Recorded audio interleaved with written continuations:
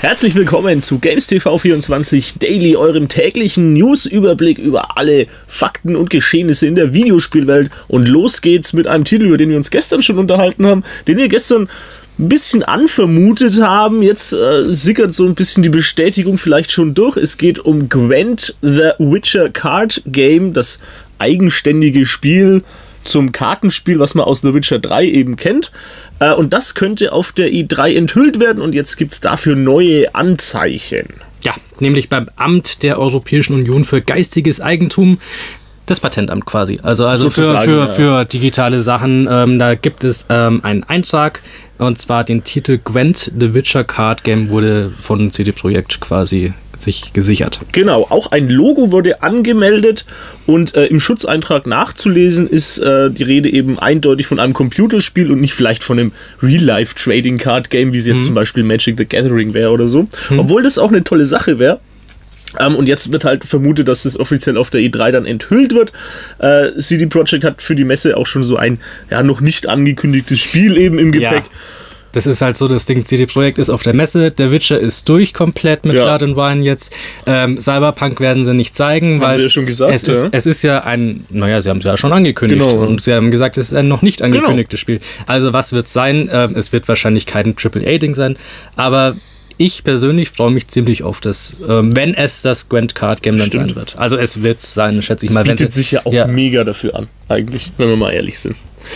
Da hat jeder auch beim Release von Witcher gesagt, wieso gibt es das nicht ja, genau. im Online, wieso ähm, kann man Gwent nicht online spielen? Gibt es da nicht irgendwann mal einen Patch oder eine Mod oder sonst irgendwas? Und oder wenigstens eine App. Oder eine App, also es wird sich ja perfekt für iPhone eigentlich an, also für, für Mobile oder für Tablets. Genau, sowieso. Also mal eine kurze Runde, mit Online-Multiplayer. Wir werden es alles erfahren auf der E3. Äh, gestern gab es auch neue Infos zu Watch Dogs 2. Wir haben ja gestern schon gesagt, da gab es diesen Livestream. Genau, um wer sich den Uhr. Livestream angeschaut hat, der hat die beiden Trailer, oder waren es drei Trailer? Drei, ja. waren drei Trailer ähm, schon gesehen. Mit Entwicklern, mit ähm, ja, dem neuen Helden Marcus Holloway, Holloway, Holloway. heißt er, ähm, der durch San Francisco springt. Also äh, hat man auch ganz tolle Mocap-Aufnahmen genau. gesehen, genau. wie sie ja so Parkour-Künstler quasi da aufgenommen haben, um das ein bisschen ja flowiger zu ähm, designen als bei Aiden Pierce noch. Genau, ja. Äh, Marcus Holloway zum Charakter nochmal ist es äh, wie Aiden Pierce auch ein Hacker natürlich, der sich gegen das System auflehnt. Äh, wie soll es auch anders sein? Äh, mit dem äh, neuen Protagonisten möchte man aber eben so eine Mischung aus Hacker und Athlet eben äh, in den Vordergrund rücken. Also er ist deutlich wendiger als Aiden Pierce, ist eben auch mit diesen Parcours-Sequenzen, die da deutlich flüssiger aussehen. in der Spielwelt gibt es mehrere Fraktionen, sowohl als Verbündete als mhm. auch Gegner. Ähm, und grundlegend ist die Stimmung auch eine andere als in, in Watch Dogs 1, fand ja, ich, was auch der Trailer vermittelt Bei Aiden Pierce war es ja eigentlich so, dass er so der Lonesome Cowboy, der Rächer, ja. der Enterbten, da, ähm, der tragische Held. Ja, genau, eigentlich war er ein ziemliches Arschloch, finde ich. Ähm, und ähm, wollte eigentlich mit niemandem irgendwie eine größere Bindung eingehen. Genau. Und ähm, Marcus ist halt dann ein Mitglied von DedSec, also die, diese Hackergruppe, die es auch schon im ersten Teil gab und ja, ähm, ist dann mehr quasi in seiner Community verankert. Genau. Ähm, auch das Hacken, dieses Spielelement des Hackens, man konnte ja im ersten Teil auch Ampeln hacken, Fahrzeuge und sogar Menschen. Äh, das, äh, dem will man im zweiten Teil mehr Tiefgang verleihen. Es soll ein flexibel, flexibleres System geben und man kann auch dann die Kontrolle über irgendwie Drohnen oder Roboter übernehmen. Also es ist nicht immer so der gleiche Ablauf. Genau. Wie macht die Ampel, fahr da das hoch. Äh, und so weiter. War halt immer, du bist Auto gefahren, hast eine Taste gedrückt zum Hacken. Mhm. Und das war's. Ähm, im Prinzip war es schon ganz witzig, das zu nutzen, aber es war einfach zu wenig, finde ich. Also es waren fünf, sechs Sachen, die man machen konnte und das war es dann auch. Und wenn davon mehr dann kommt, dann wird es bestimmt ganz cool. Ich hoffe mal.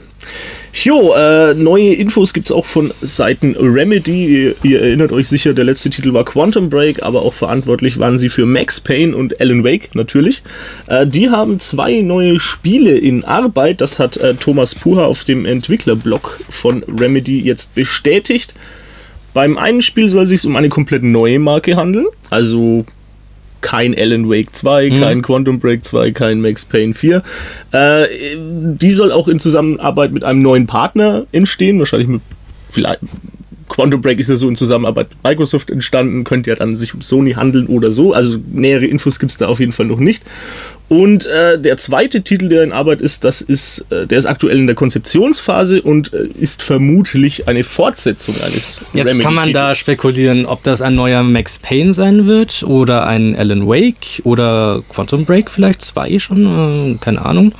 Ähm, auf jeden Fall wird es eine Fortsetzung einer ähm, bereits etablierten Marke sein. Richtig, aber wahrscheinlich nicht von Alan Wake. Äh, das hat, wurde auch bestätigt, keines der beiden Spiele wird irgendwas mit Alan Wake zu tun mhm. haben. Mit der Marke Alan Wake möchte man irgendwie andere Wege gehen jetzt scheinbar. Äh, er sagt da, wir arbeiten an etwas Neuem. Gleichzeitig erforschen wir aber die Gelegenheit, mehr Alan Wake-Geschichten in anderen Medien zu erzählen. Mhm. Also in, würde es sich eigentlich so eine TV-Serie anbieten Kino, oder ein Film. Film oder ein Buch? Könnte auch sein. Oder ein Comic? Ein Comic? Ja. Auf jeden Fall ähm, wird Alan Wake in nächster Zeit nicht als Spiel zurückkehren, aber ähm, Quantum Break soll zum Beispiel noch weiterhin ja. unterstützt werden. Ähm, ist ja auch bitter nötig genau. eigentlich. ja, muss man, gesagt, muss, ja. muss man leider so sagen, das stimmt halt. Ähm, die neuen Titel werden aber dieses Jahr wohl nicht mehr angekündigt werden. Also weder auf E3 noch auf Gamescom noch auf sonst irgendwelche genau. Sachen. Das wird dann alles nächstes Jahr passieren, wenn überhaupt nächstes Jahr. auf jeden Fall sind die in der Entwicklung, diese Titel ja, mit Quantum Break haben sie ja auch ein bisschen Geld gemacht, was man da jetzt wieder reinvestieren kann. Also ich bin gespannt. Äh, Call of Duty XP ist nicht etwa ein Betriebssystem wie Windows XP, sondern äh, eine Hausmesse von Activision, die fand zum ersten Mal 2011 statt und da wurde halt äh, alles im Rahmen von äh, Call of Duty eben gezeigt und die findet dieses Jahr wieder statt, äh, vom 2. bis zum 14 vom 2. bis zum 4. September in Kalifornien, also ein bisschen weiter weg für alle, die da jetzt hinfahren wollen. Ähm, da wird erstmals der Multiplayer und der Zombie-Modus von Infinite Warfare äh, von den Besuchern spielbar sein. Also ihr könnt es da anspielen. Außerdem auch das äh, Remake äh, Modern Warfare Remastered wird spielbar sein. Und in dem Rahmen findet auch das Finale der Call of Duty Weltmeisterschaft, also E-Sport Weltmeisterschaft, statt. Genau. Ähm, besonders spannend ist dabei auch das VR-Erlebnis der Raumkämpfe für PlayStation VR. Also da bin ich mal gespannt, so Call of Duty, ob die dann auch so die PlayStation-Schiene fahren.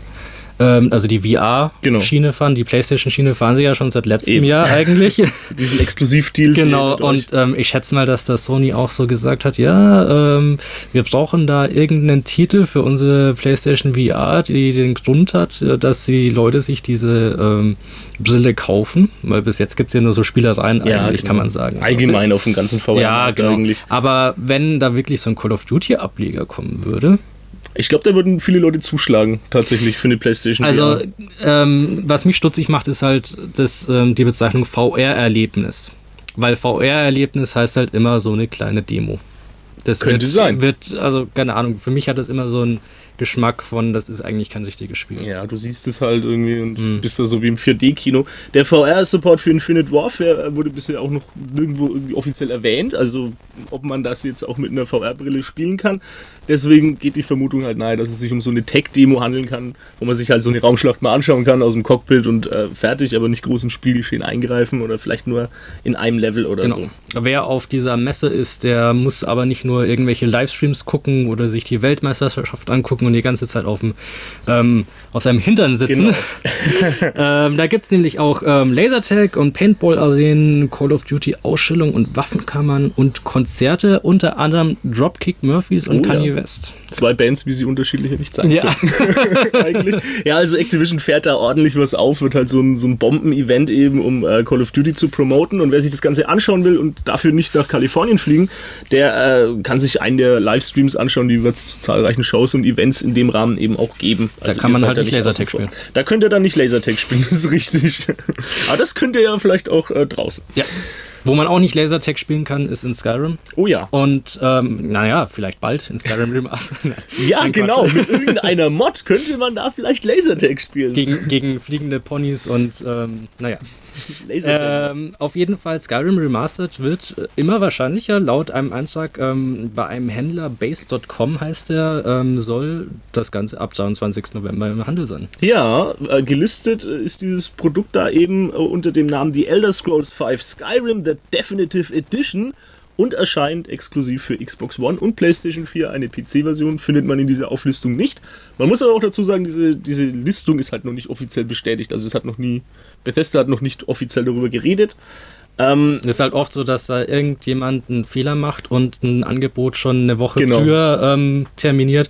Und bei Base.com ist das ja wahrscheinlich passiert und ich schätze mal, dass Bethesda das erst auf ihrer PK am Sonntag ankündigen will. Genau, so zumindest auch die Gerüchte die sprechen auch dafür. Shinobi etc. haben gesprochen, äh, es soll so eine Remastered-Fassung geben. Die soll natürlich eine überarbeitete Grafik äh, bieten und auch Mod-Support für die Konsolen. Genau, wie man das Ganze von Fallout schon kennt. Genau. Also es funktioniert ja eigentlich recht gut, bis auf das, dass die Leute halt die Mods klauen. Ja, ja, na gut. Und sich selbst als Autor ausgeben, aber da ist ja Bethesda eigentlich ganz gut dahinter. Richtig. Das war's mit den News für heute. Wir sehen uns, wenn ihr mögt, morgen wieder. Bis dahin.